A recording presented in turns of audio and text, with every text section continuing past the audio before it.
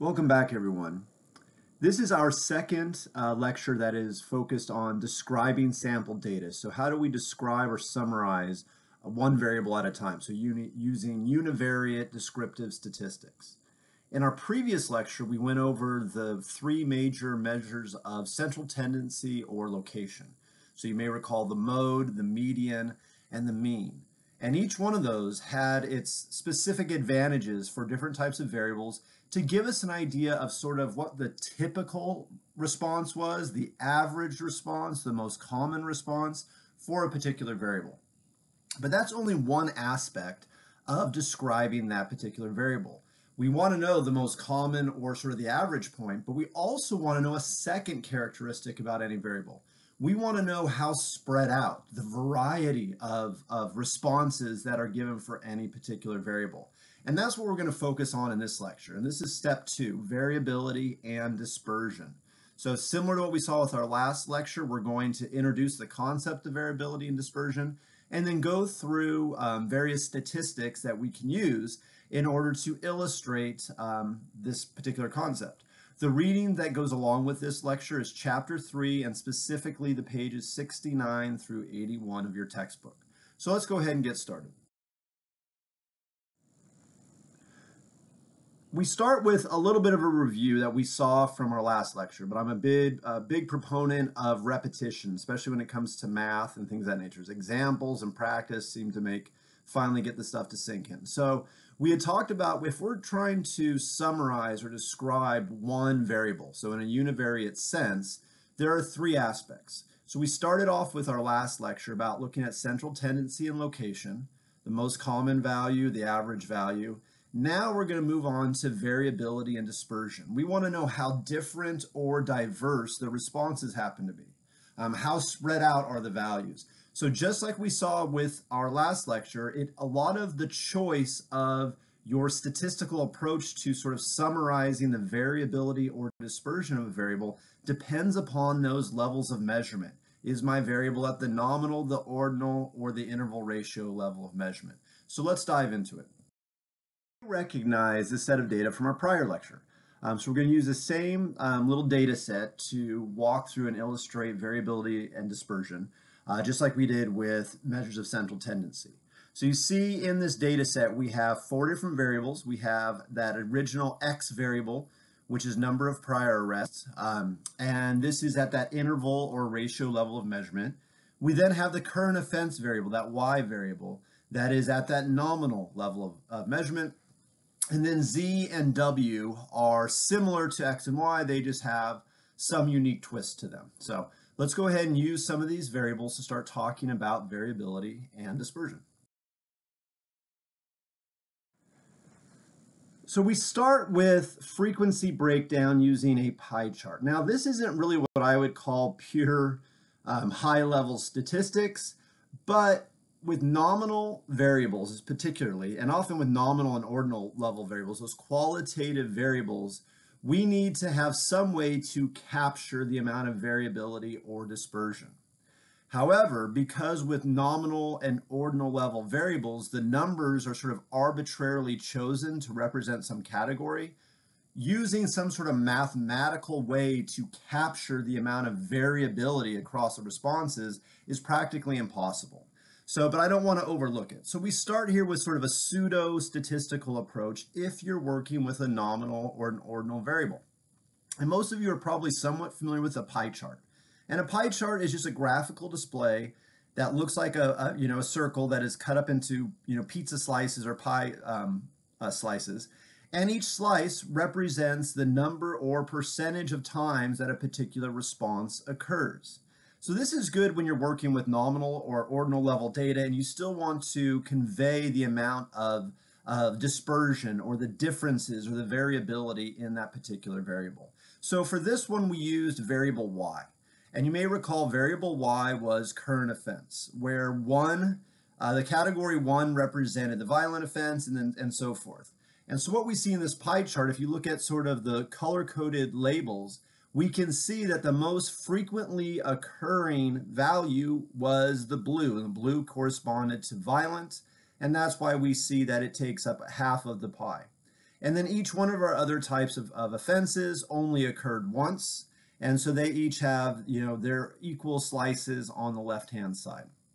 Now, one of the big disadvantages of this is, as you can see, the full first bullet point says, this doesn't provide a single summary statistic. So we're sort of already in violation of what we're trying to do with statistics, which is to provide single numbers. But it's still a way to illustrate, and it's pretty. I mean, the simple thing is oftentimes, depending upon if you're putting something into a report or you're doing a presentation at a conference, when you can sort of see a pie chart, people get an idea of how diverse the responses are, and also they can kind of tell what the most common and least common ones were. So they get a little bit of, of both. Um, and so we've got that one. Now, I don't recommend using a pie chart breakdown for quantitative variables because with quantitative variables, you usually have a lot more individual number values. So say we're measuring age of a group of a thousand people. You would have a bunch of tiny little slices all the way around there, and it gets just kind of ugly and overwhelming. But it does work nicely for qualitative variables when you only have three, four, five, six categories or something like that. Now we're going to move on to the more sophisticated measures of variability and dispersion. And all of these ones going forward are going to be focused more on interval and ratio level variables. So let's go ahead and take a look at those. So the first of the quote unquote pure statistics, um, sophisticated measures of variability and dispersion is what is known as the range. And the range, if I say what were the range of values in some variable most of us have no problem. You'll say, oh, it ranged from this value to that value. That's fine, but remember, in statistics, the word range represents a statistic, and by definition, the range becomes a single number. How do we compute that single number? We measure the distance between the maximum and the minimum values. So you take the highest value observed for a particular variable, and then subtract the lowest value observed. And you'll notice looking at the chart over on the right, I've crossed out variables y and w. Why did I do why did I do that? Well, because you may recall from when we set up these variables, y and w were qualitative variables. When we get into talking about the range, and then on the coming slides, we're going to talk about variance and standard deviation these types of measures of variability must have quantitative level variables. So we're only going to focus on variables x and z for the rest of this lecture. So that's why I have those crossed out. So let's take a quick look at how we would compute the range for both variable x and variable z. Well, variable x, what we have to do is find what was the, the maximum or highest value observed. And as we look through that list of observations, we see that it was 8. And then we have to also find the minimum, the lowest value observed, and we look through that list and find that it's 3. So in order to compute the range, it's 8 minus 3, and the range for variable x equals 5. It's, that's all there is to it. Same idea for variable z. We go in there and we have to find the highest value, 28, and then subtract the lowest value, 3. And so 28 minus 3, and we get a range of 25 for variable z. So these are a good starting point. The range is a good starting point for getting sort of a, a brief look at how, you know, the amount of variety or dispersion you're seeing for your particular variable. Um, and it's good because it does, in fact, provide a single number. So clearly by looking at variable x and variable z, looking at those range values, we can automatically tell there's a lot more variability in variable z. It has a much higher range, right? But remember, because this is a somewhat of a crude measure, the range, it only focuses on the highest value and the lowest value. It ignores everything else. We sort of, one of the disadvantages is we think of it as being somewhat of a crude and simplistic measure, right? It only cares about the highest and the lowest. It ignores all the other values in the data. And because it only focuses on the highest and lowest values, it can be heavily influenced by even a single outlier. And that's exactly what we see when we compare the range for variable x compared to the range for variable z. Variable z, we introduced one single outlier, that value of 28. And you can see the drastic impact it had on the range. You know, the range for variable z is five times larger than the range for variable x. So that's going to be one of the major shortcomings of the range. So as we move forward, we need to come up with some slightly more sophisticated measures of variability and dispersion that sort of get past the, this, the disadvantages that the range has. We want values that take into account all the data and then maybe a little bit more robust as far as what they're um, telling us about variability and dispersion. So let's go ahead and take a look at those. So you'll notice here I don't just have A, B, now I have C and D combined. Because the reason for that is because the, our next two variability statistics, variance and standard deviation, you can't really talk about one without talking about the other because they do go hand in hand with one another. Um, and so it makes it kind of nice that we can kind of combine them together. But please understand, they are two different statistics. The variance is one measure of variability. The standard deviation is another measure of variability. And though they're closely related, we want to also sort of appreciate them for, for what they contribute um, statistically. So both the variance and the standard deviation, if we wanted a general definition, we might define them as saying they represent the average amount by which observed values deviate from the mean. So, as I mentioned last lecture, when we talked about measures of central tendency, one of the things that I talked about the importance and the advantages of the mean is that it's used in a lot of other statistical formulas. And sure enough, we see that the mean coming back already in order to compute and understand variance and standard deviation. So their sort of representation of how di diverse or, or variable the values are for a particular variable are all centered around that mean as our starting point. All right, so computing both the variance and the standard deviation. Here you'll see on this slide I have two formulas. And these formulas, for some of you, you may go, okay, I can figure that out. Give me the data and I'll compute it. Um, others, and don't be upset if or worried if you see this. Some of you may look at those formulas and go, oh my goodness, I have no idea where to start. Don't worry about it. As you will see in the next couple slides, we're going to take these formulas and break them down step by step. So whether you become comfortable with interpreting and understanding one of these formulas in the summation notation format that you see right here, great. Um, but also we're going to show how you can break it down into five or six steps and you can kind of think about going about those and hopefully it'll give you two ways to approach computing the variance and the standard deviation but also by going through that step-by-step -step approach you can see how we can sort of deconstruct um, one of these formulas that's in summation notation. So let's do a couple more comments before we actually get into the actual math of it. Let's look at that variance formula first. So you may recall from an earlier lecture that we use symbols to represent sample statistics. And since this is a statistics course where we're focusing primarily on describing and using sample data both for descriptive statistics as well as later for inferential statistics, we're going to be using those sample symbols. And so the symbol for variance is S squared.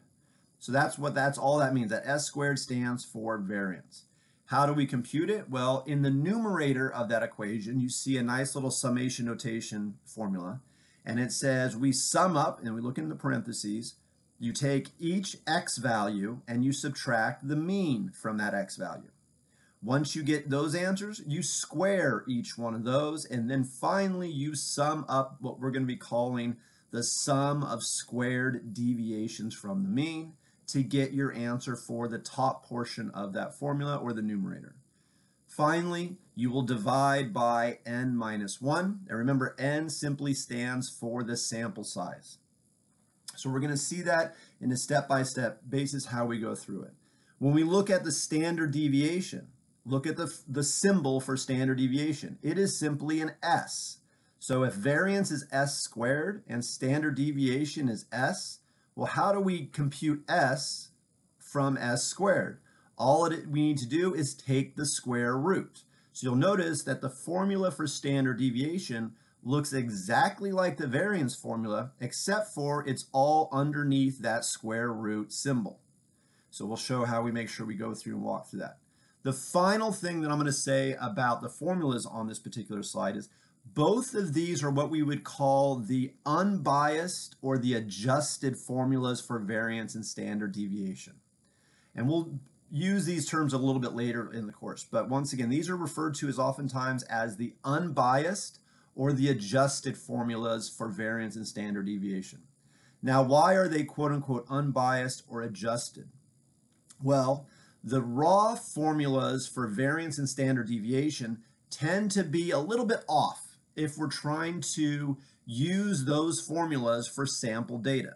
You know, back way back when, when statistics and people were starting to compute numbers and do things like means and variance and standard deviation, oftentimes people started off with, well, here's my data set, so I'm going to treat it as if it's the population, and these formulas were created. Well, when we started thinking about inferential statistics and using small segments of the population, a sample, to make or draw conclusions about the larger population, we realized that some of the formulas were a little bit, you know, it tended to either underestimate or overestimate certain values. So an adjustment was made. And the only adjustment that these quote unquote unbiased or adjusted formulas have is in the denominator of the formula, that n minus 1. If you Google it or look in a textbook at what we would call the population formulas or the raw formulas for variance and standard deviation, they would look a lot like these except for one thing. The denominator, the bottom part of the formula, would simply have n instead of n minus 1. And it seems like a minor adjustment to simply say, okay, let's fix the formula by dividing by n minus 1. But that's all it really takes. And as we'll talk more in this class, and hopefully your mind will start to see it when we start to talk about the importance of samples and sample size, n minus 1, if you have a very large sample, doesn't make much difference to your denominator, right? If my sample size is a 1,000, and then I subtract 1, well, instead of dividing by a 1,000, I'm subtracting, or excuse me, I'm dividing by 999. That doesn't make a very big difference. But what if your sample size is 4? right? And then now 4 minus 1, dropping it down to 3, that can have a much bigger influence on what your overall answer will be.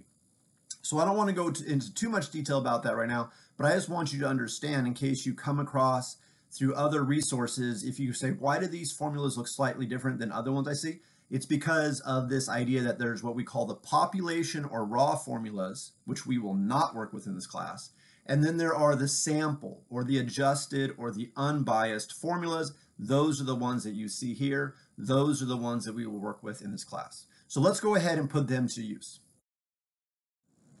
Okay, so when we think about the variance and the standard deviation, first of all, why, what's good and bad about them?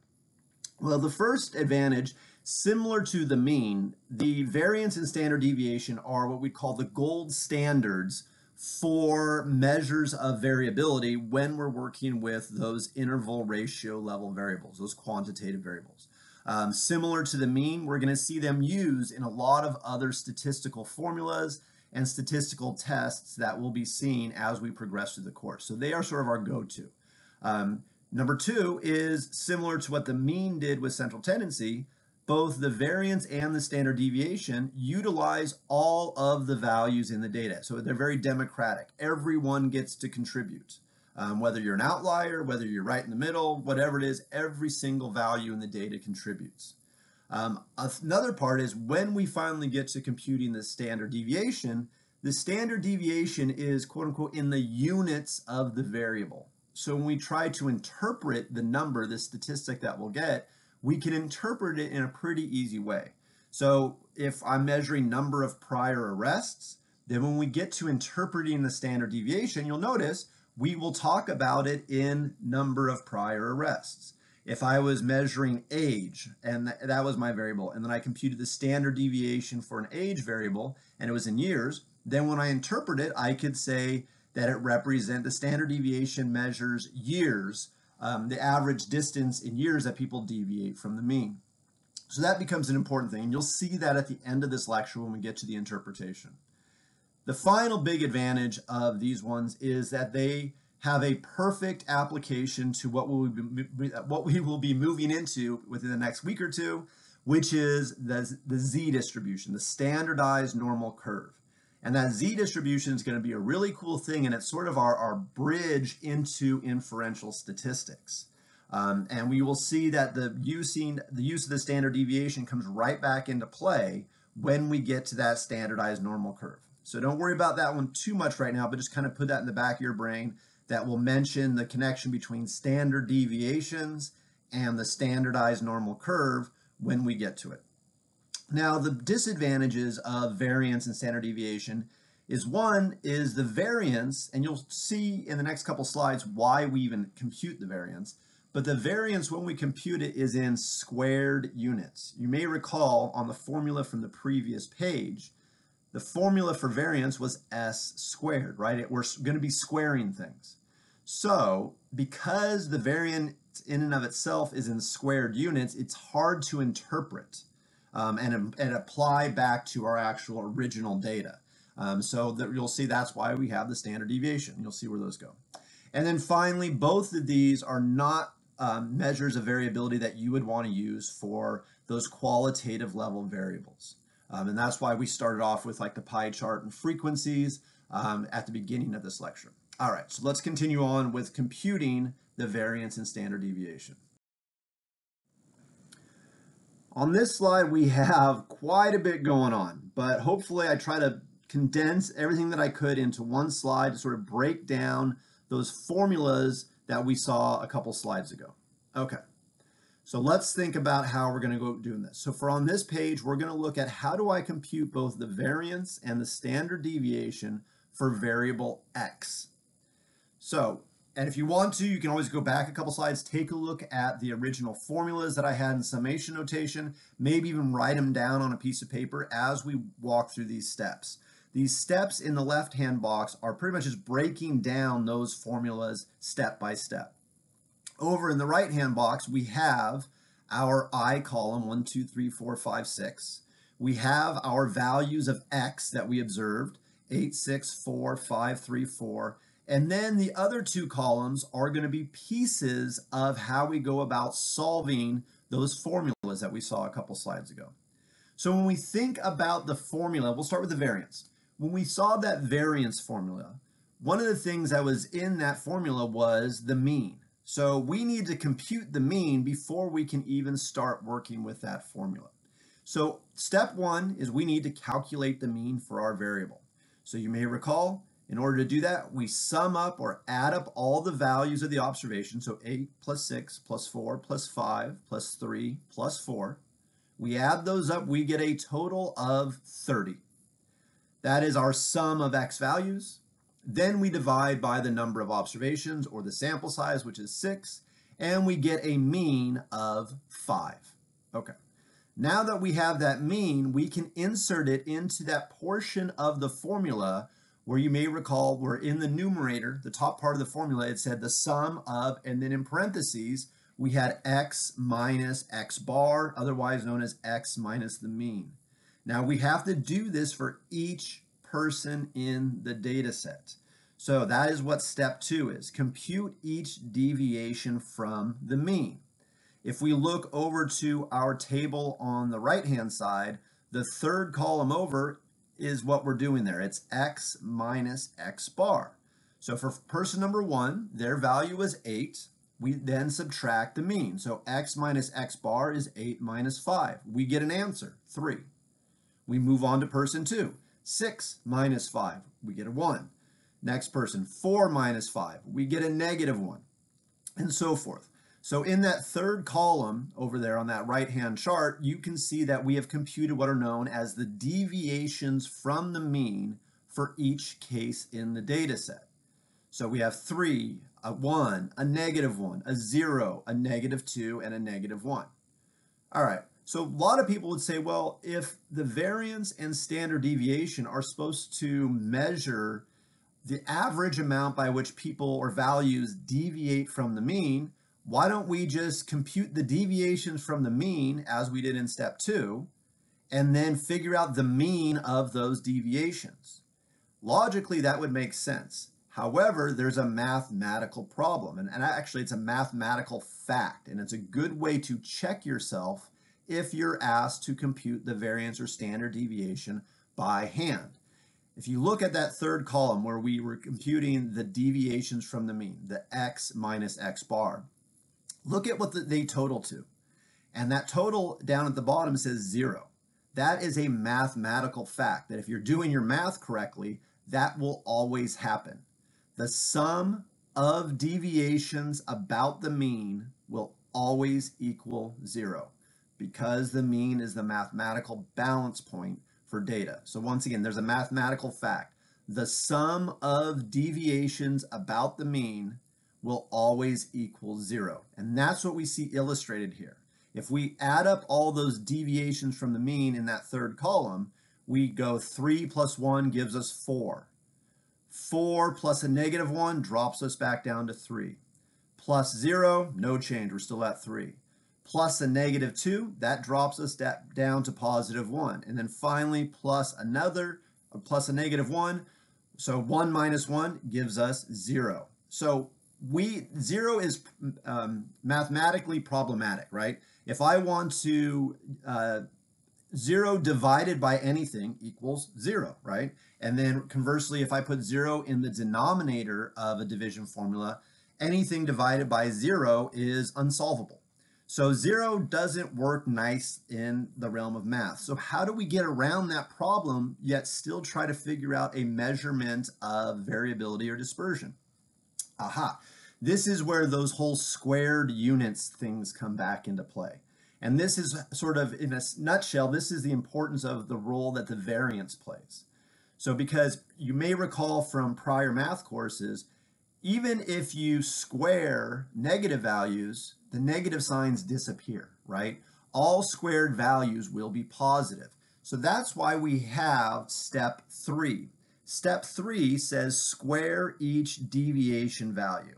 And this, thinking back to the formula, this is where we now went outside of the parentheses and added that exponent. So it's x minus x bar squared.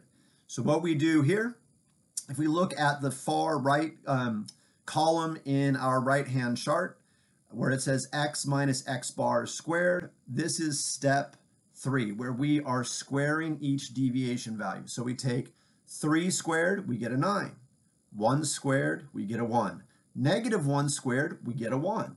0 squared is 0. Negative 2 squared, we get a positive 4. Negative 1 squared, we get a positive 1. So we've gotten rid of that, the negative problem that we had previously that was leading to adding to 0.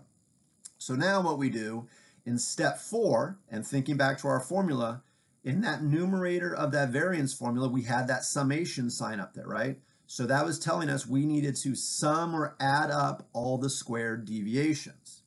Now this it gives us what is known as the sum of squared deviations. Sometimes it's shortened to be called the sum of squares. Other times it is simply denoted by a capital S, capital S, so SS. And that's what we're using here. So various names. So in step four, we are summing up the square deviations, and that's what we see also in the far right column of our right-hand chart.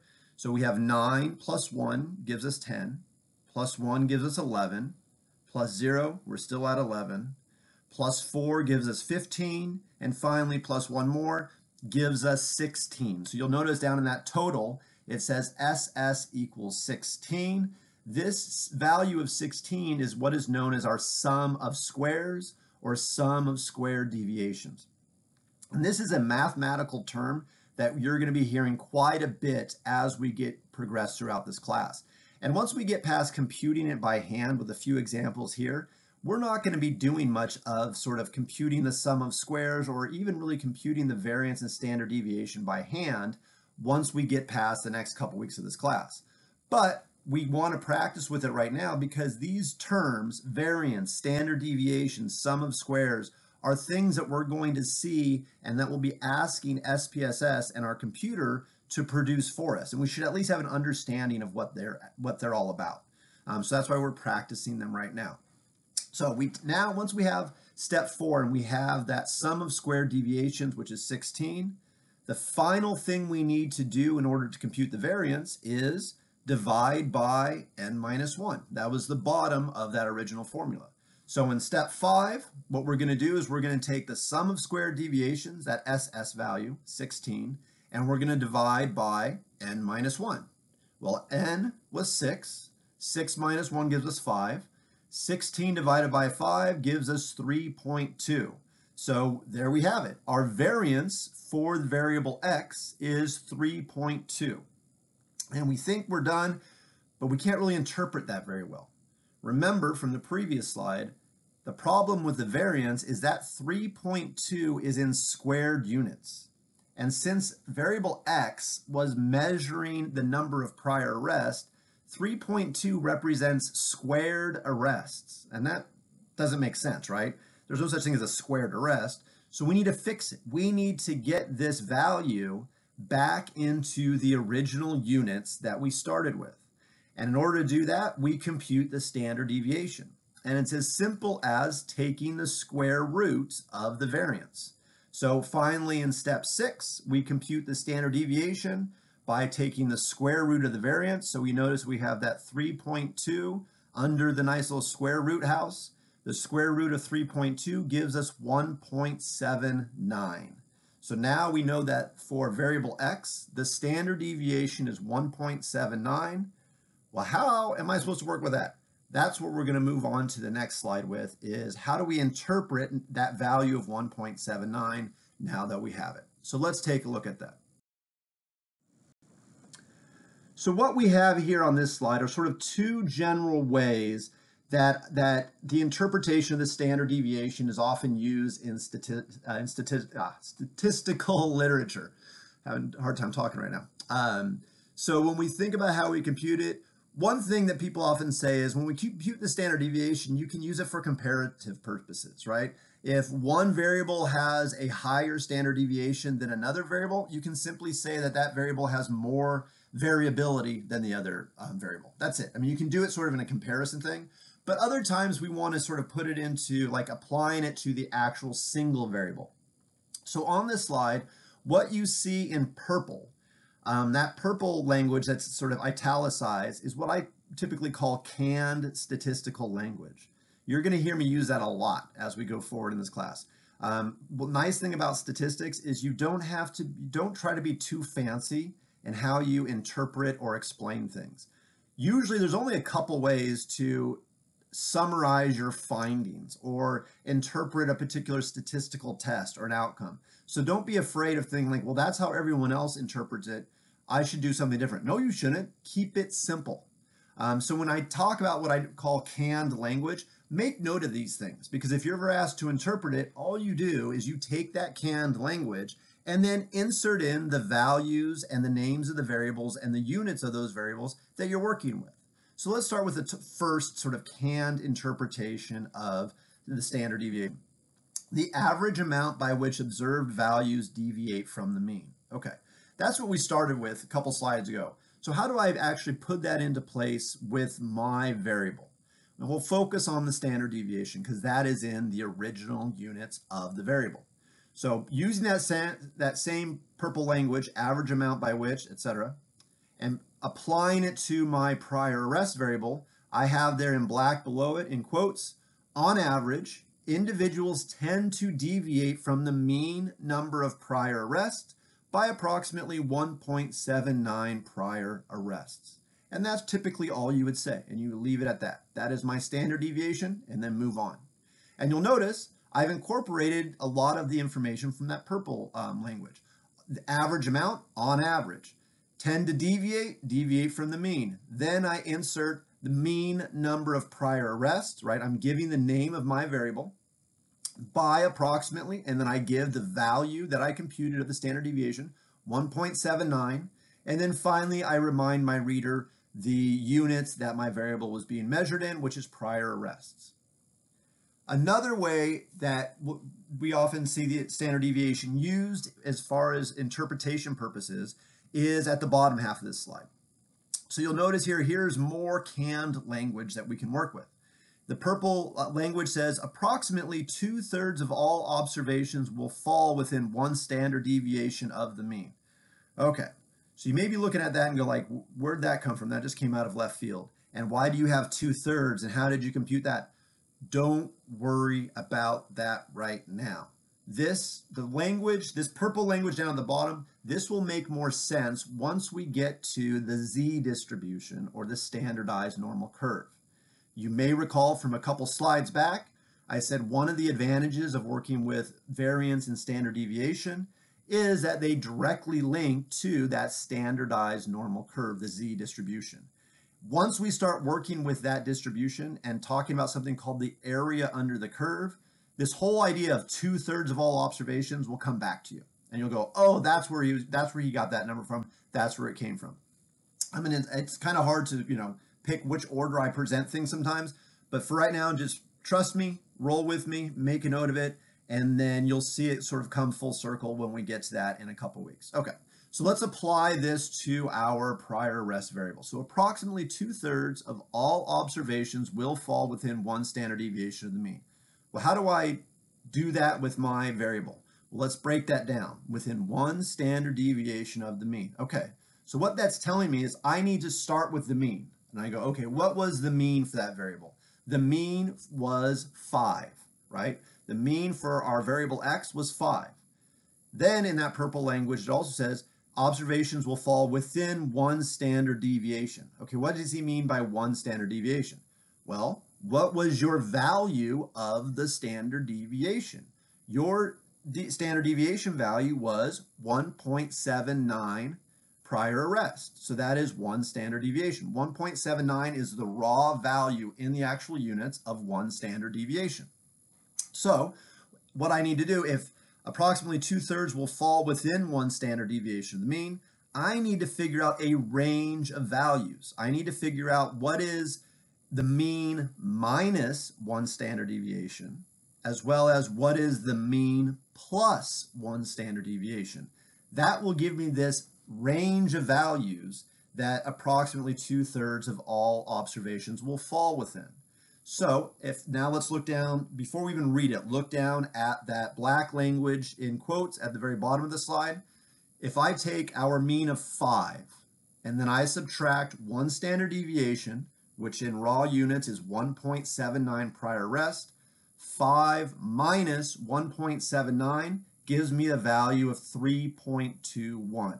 And you see it down there in that bottom sentence. That gives me the lower end of this range. And to figure out the upper end of that range, I start with the mean once again, and I take the mean plus one standard deviation. So I take the mean, which was 5, plus one standard deviation, which is 1.79 prior rest. So 5 plus 1.79, and I get that 6.79 that I also see down there in that sentence. Once I have the upper or the lower and upper uh, values of that range, I can then make a statement that looks similar to what we see at the bottom of this slide, which says approximately two-thirds of individuals have between 3.21 and 6.79 prior arrest.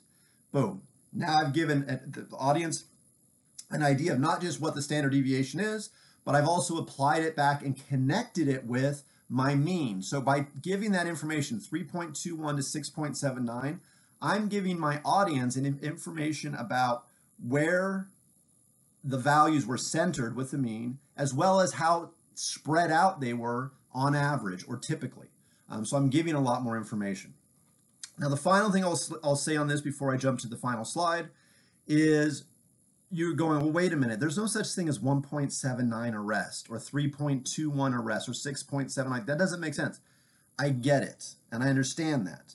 But for the sake of this class, specificity of numbers is crucial. So for a statistics class, we're going to keep those decimal points there. We're not going to round to whole numbers, and I've stressed that before, right? If our answers come out in decimal points, we keep them there. Now, if I'm, once I've computed my statistics and I've got them done, if I'm putting together a presentation for, you know, a city council or for, you know, a local police department or something like that, then, and the people in the audience may not necessarily have a lot of statistical background, I'm probably not going to say between 3.21 and 6.79 arrests because they're going to look at me crooked. Like, what are you talking about?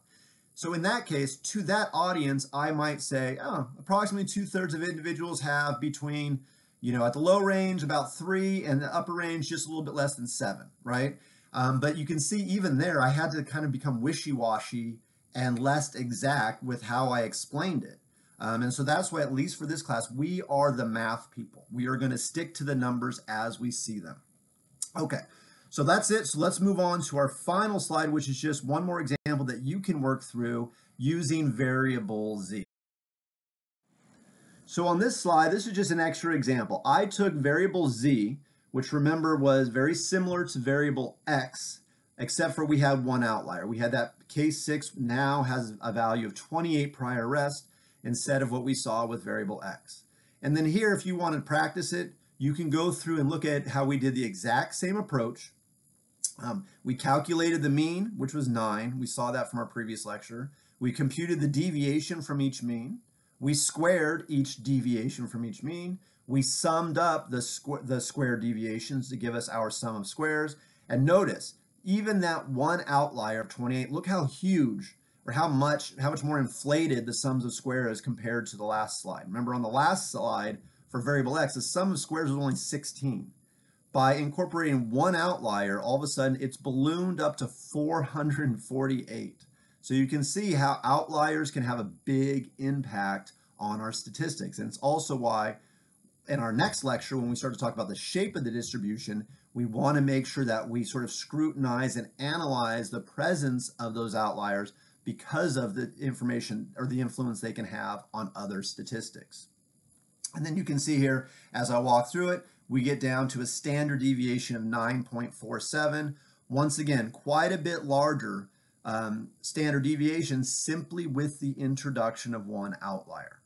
All right, so I'll leave it at there um, for this particular lecture. Um, I hope you uh, enjoyed it and made sense to you. Look forward to our next lecture where we will go into the third category of describing sample data, and that is looking at shape and distribution. So take care.